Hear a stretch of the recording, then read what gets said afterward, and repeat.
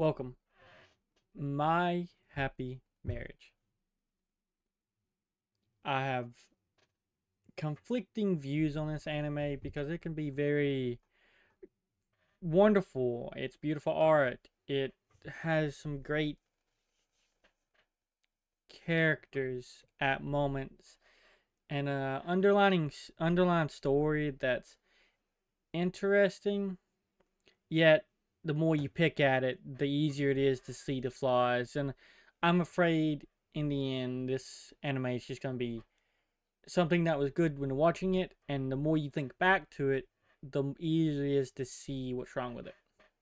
But we'll get into the information. It's 12 episodes 24 minutes long. It started July 5th, ended September 20th, which is like a day ago at the time of this recording. It's a summer 23 anime, average score of 80. Is by Citrus, Kinema Citrus. Uh, same people that had Rising Shield Hero, Season 1, 2, and 3, Made in Abyss, uh, Barakamon, a few others, but those are the big names. Star Wars Visions, Tokyo Magnitude 8.0. So it has some good. The studio's done some really good work, for sure, and you can see it in this anime. They put their A team on it. The visuals are fantastic. It's a drama, romance, supernatural, but the supernatural doesn't come in to play till later on. I I didn't read the synopsis. I went into this anime blind. I had no idea what it was about. Uh, original story by Akumi Aji Toga uh, directed by Takehiro Kubota. So, shouts to them. Synopsis An alternate version of the 19th century Meiji Restoration era in which spirits and magic are real but in decline, Mio Saimori, born without supernatural talent, is forced into existence of servitude by an abusive stepmother. So we have Cinderella vibes already right there. When Mio finally comes of marriageable age, though her hopes of being whisked away to a better life crumbles after she discovers her fiance's identity. Kudo, a commander apparently so cold and cruel that his previous would-be brides all fled within three days of their engagements. So we have some ice prince, the trope right there. It's never addressed why the other women went away. It's apparently he just didn't like them. That was a big thing in episode 1 that didn't get really addressed later on. With no home to return to, Mio resigns herself to her fate and soon finds her play her pale and handsome husband to be is anything but the monster she expected. As they slowly open their hearts to each other, both realize the other may be their chance at finding true love and happiness. And I guess that's pretty on the nose about what the show is at its core. And everything is just built around that like the story, everything's just fully around that. So it's on Netflix. You can catch it out right now on Netflix. It's uh currently subbed. I'm sure it's got a dub on the way. It's been announced for season two, officially announced for season two. So I'm sure they're gonna dub the season if they haven't already. I've only watched it sub. So episode one, as of course you see her life is pretty miserable with her st- with her family her mother's dead, by the way. Passed away when she was really young. That's gonna come into play later. Uh, and they basically give her off, give her away to uh, her husband to be, and they warm each up to each other in episode two. He thinks he, she's trying to poison him, stuff like that. Uh, they go into this. They warm up to each other. They go into the CD in third episode uh, uh, the husband to be goes to meet the family and basically reveals to them like I know how you treat her now. I've done research. You better be glad I'm even willing to give you a gift. All because the traditionally you're supposed to give the bride's family something as uh for the marriage to the daughter. But he's like, I will only give you anything if you apologize to her. And that doesn't happen. Uh, the younger sister, which is a complete and total terrible person. This little sister is a terrible person. She gets jealous of Mio's happy marriage and how beautiful her their husband her husband to be is. They basically uh, kidnap her. She's actually engaged to the childhood best friend that you see in episode one of Mio's. And it's a weird dynamic, weird writing. You would think that'd be her husband, but it's not. So, and it's never really addressed why they they try to make it out to be a marriage, but it's not. Uh, they kidnap her. They hold her hostage. They hold her, and like in the shed, and they punch her. They basically. I don't know. It's weird what they think. They call off the they call off the engagement and everything like that. Well, he's not having it. The old the the boy that likes Mio from the childhood tells her husband to be, which is a commander in the military, that has supernatural powers, comes and rescues her, basically burns down the gate and ends up fighting two other magical people that had the the thought to kidnap her. The whole uh, place gets burned down, so Mio's family's poor, and the other guy's family falls on the kind uh, code husband to be house it's a little convoluted and like really weird when you get down to it. It's like because it's all about the happy marriage, but at the same time, why did they think that was going to be how it ends? Why would they want to? We understand now, but retrospectively, they kidnap her because she's actually has the blood of a really powerful supernatural user family. So like, she, even though she doesn't have it, she can still have kids that will. But they treat her bad the whole life and like that's not like brand new news to them. They should know that. It's kind of as you watch the show you don't see that because you don't know that. Retrospectively makes no fucking sense makes no sense why they would do that. She might not have supernatural powers. At this time they do not know. Episode 6 they do not know which is halfway through they do not know she has supernatural powers. She doesn't know. No one really knows. The husband to be barely has any sense of anything happening. But she still has the blood of a very powerful family, which is her mother's side, so not her father's side. So we don't even see her family till like later on in the show. Why wouldn't they just treat her well? She still has that. Like that's not magical. They're still trying to get her back so they can get their magical ability into that fam into the other family. That makes no sense right there. That absolute bullshit. It doesn't go back to say why. It doesn't do anything. Nope whatever. Uh, so that whole arc is wrapped up at six. I thought that was actually the most entertaining arc by far, and not knowing how everything was gonna uh, play out, I thought it was fantastic. I thought like this is really good. I think this is gonna be really like I would give it a eight nine right now. First six episodes, I thought it was good. Kind of melodramatic though, but good. Nothing I would say is bad. Episode seven's not terrible it I meet the husband to be sister, teaches how to be a lady so they can plan for this party they're gonna go to. Uh, it's very nice. And then we meet her we start meeting people of her mother's side of the family that we don't know yet. But we meet this one dude. We know he has relations kinda because her her mother's signifies by cherry blossoms and every time you would see this dude scene, it'd be a big one in Cherry Blossom. You see it right now. Cherry Blossom. Her mother is signified by cherry blossoms in the show. So, like, that's kind of what you should think of when you see it. Uh, a big disaster's happening. Courtesans are like spirits that are being awakened from graves and they're attacking the city. They're basically the spirits of like a supernatural users that have passed on uh, some men come and kidnap Mio to bring her back to the her mother's family's house, so they don't have to give out the supernatural ability to another family. Which that big fight happens between her husband to be and this dude, which is supposed to be her other husband to be, at least according to the to the, the episode that he would she would have married him instead of go to. Uh And this is where it really gets weird is that they kind of back off all that stuff. They're like the family kind of just accepts what's going to happen and is like, okay, here's your mother's legacy. Here's yada yada. Like this is your mother's legacy. This is what happens. This is why she got married in that family. And it doesn't explain why they didn't just go get her when her mother passed away. Like it doesn't make any damn sense. It all could be fixed if they would have just went to the, uh, her grandfather cut her off and was too mad and yada yada yada whatever. He regrets it. Kind of doesn't make sense of why he would treat his granddaughter badly or not go get her when the mother passed away.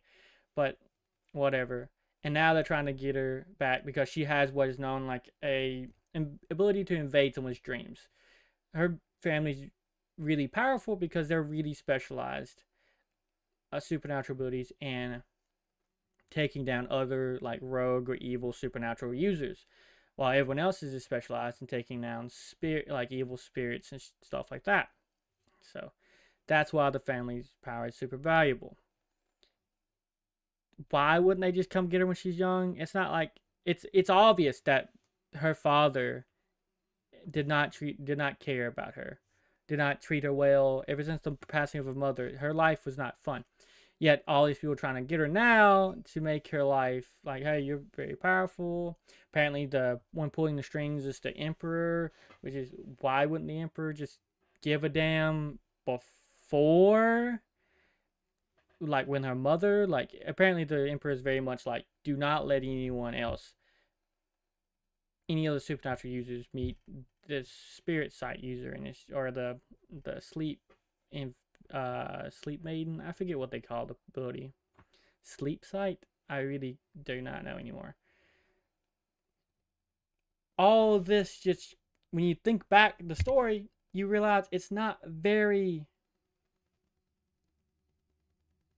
adding up. Like it's just it makes sense as you're watching it the first time. Going back, you're like, that why would they do that? The buying into it makes it really hard to uh to see the flaws as it happens. There's not many flaws when it happens, but when you look back, it is.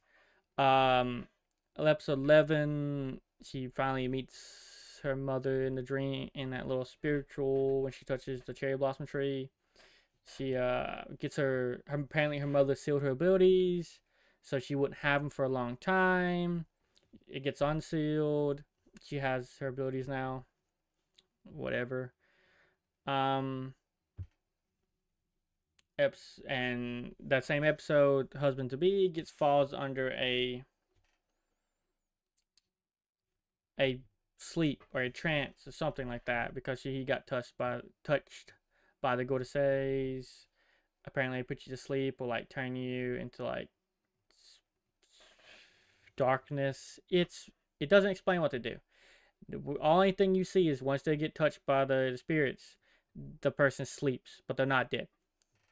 So now the family that's kidnapped Mio and has taken her basically to live there permanently has been had backed off and like okay, we'll support you we'll take you to your husband to be, and you can be happy with him now. And she has to, and that's the end of episode 11. Episode 12 is just her rescuing him from the dream world.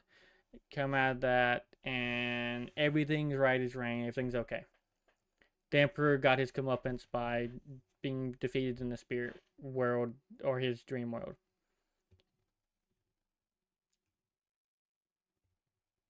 Looking back, the story makes no damn sense. And I don't mean that and like, of course, you watching it, it makes perfect sense. But then you're like, wait, why does now these people just give a fuck? Because it doesn't. It tries to try to explain that stuff. It's very mm, like melancholy show of just slow pacing but very beautiful dramatic it's it's very much a drama with the supernatural vibe at some points it has a fight or two but that's not the draw of the show it is interesting to watch it though, and it, it has beautiful animations. So it's it's beautiful fights and like good uh scenes. It's very touching. Uh, you feel you feel for the characters here, and that's that's probably the strong point of the show is the characters. You're either gonna love them or you're gonna hate them. Don't get me wrong, both of them make their flaws, and Mio has made me mad about this show about her just because of the traumatic home environment, she's not really out putting her feelings out there, and the husband to be is very cold, so he doesn't put his feelings out there. So it's it's uh, it comes down to that problem of like if they just had a conversation, honest conversation, the problems would go away. But they can't because trauma, story. So it's kind of flawed in that way, but that's also a melodramatic story. So I'm not gonna hate on it too much. But when it comes to the actual how the story unfolds and how you can go, it's not rewatchable. The show is very much not rewatchable because you're gonna, if you the second you don't buy into the belief of how the show works, you're just gonna like, that makes no sense. Why are they just not get? Why is just why are they treating her so bad? She still is that power. She still has that bloodline. Like, why are they trying to get her back? Why are they mean to her just for no reason? Like, the sake mean for the sake of being mean, mad because the sake of being mad. Story reasons. It's just the main characters are fleshed out, as in like the Mio and the husband to be, Kudo. But everyone else needs a little bit more to it to really get up there in a better show. I hope season two brings that. I hope we can kind of make this a happy marriage and the conflict between these two are going to be good. And so we can have other things fleshed out and other things happen instead of like these two being internal problems. I don't want the melodramatic between these two constantly. Let's reach out to a different store, different way. You know what I mean? I want it to be a happy marriage, not a marriage that could fall apart every five minutes when they don't want to talk to each other. That's the main character, Mio, of course. Kudo, Kudo, uh, the younger sister, the childhood crush. I think it has really nice visuals though. Like it's the this is the springtime, of course. The winter, you don't even see this happen in the show. This is just a good visual. It's not even clear on my screen. This is very good. Fall, summer. It's a very visually fantastic show, and it deserves all the praise for that for sure. It was, of course, the summer 2023 show. Is there anything else I want to say about it that's not directly related to story? No, I, I truly think that's about all I wanted to say. Due to all the reasons I've talked about, I do want to say straight up, it's probably one of the best romances of the year, though. I might have a lot of flaws watching it, and retrospectively, I might like this is not perfect. But as I watched it, I loved it. I loved almost every moment. I think episode it's 12 episodes, so about episode 10, 9, 10, it had really good moments. Then it had moments of like, why didn't you just I think the melodramatic stuff is hard for me to really like be okay with some moments. So when it gets to the point, it's like if you could just say one line right now and everything's okay, I stop enjoying it. It's like this is just why is she just why is she just this way, and that's my that's my personal preferences, and it really bothers me. But there's very few moments that I'm like that sucks. Why did why did it wrote that way? Why is it this way? And but while I'm watching it, you see those moments very few, few and far between. But you, I fell in love with the characters. They're fantastic. They're entertaining to watch. They truly do care about each other. They do know how to express feelings and not. It's not just a plain old tropey like characters when it comes to the main two. It's fantastic show, and watching it, I loved it. It's probably the best top three romances of the year by far. But it just can't look back and not. And for that, I give it a 7.5 out of 10. It could be very much a more romance and drama like Lover 10 out of 10. And I could definitely agree and not argue with why it deserves that. Just for me, 7.5. And shout outs to all the people who worked on it. Just click on the staff, give them one more shout out. Original story, director. They do a great job. I think this series did fantastic. I'm excited for season two, and I hope it fixes all the problems. A little, little less drama, a little more fleshed out characters, side characters, and thank you for listening to my thoughts. I appreciate you. You have a good day.